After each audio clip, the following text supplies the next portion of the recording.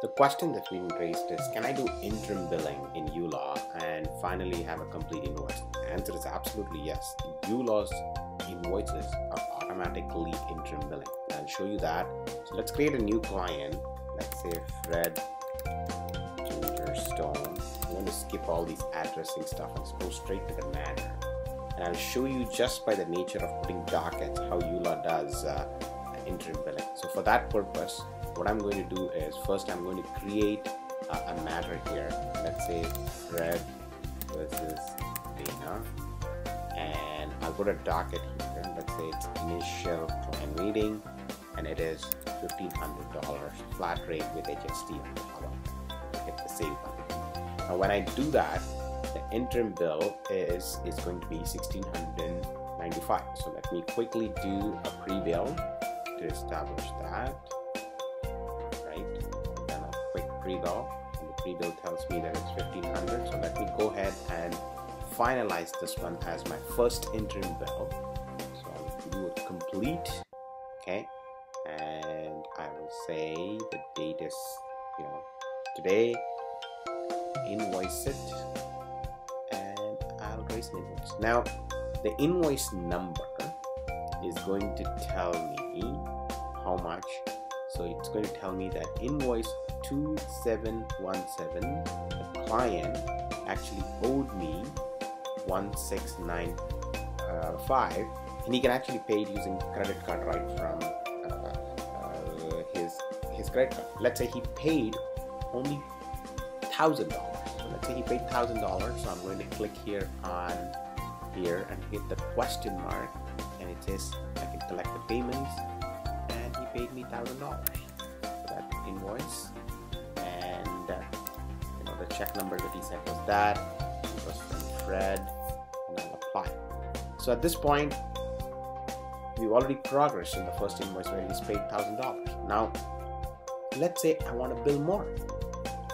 I had like a second client meeting for another $1,000 and hit the save button.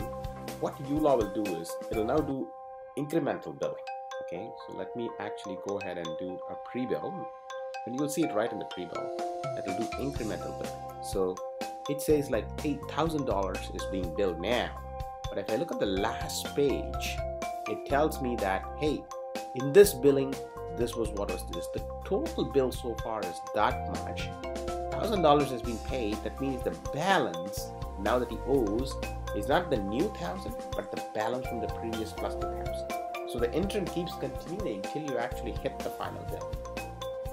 So let me now go ahead and raise this invoice and you will see the difference. Like, you know, you will see the carryover from the previous invoice into this invoice and it will keep progressing till you hit the final bill. Okay. Now let's say he paid the entire 18 uh, 25 using credit card. So when he clicks here, obviously, like you know, we'll be bringing in the credit card page, and he can actually pay this amount using Visa. Right when he sees right off the invoice. But let's say he paid it. click here on question mark, hit the payment button, and 1825 is what he paid. And this time his check number was oh he didn't pay by check. This time. He paid by credit card. So you can say hey he paid by credit card. And that was his reference number. And again receipt from Fred. You can you a receipt by the way and do apply. That will be now his receipt for his new payment of $1,800 here's your beautiful receipt that you can email it. Now you're actually ready for your final bill because everything is closed on this matter so you can just say document generation invoice complete do a quick preview again right always enforce a preview because you want to be 100% sure that's your final bill. Clearly see there's no invoice here, there's no amount that was actually raised. If you look at the final, that's your final bill. You say, hey, amount due is nothing. So now you can just finalize this bill by raising the invoice. And that's now the third invoice that you've actually created in the system.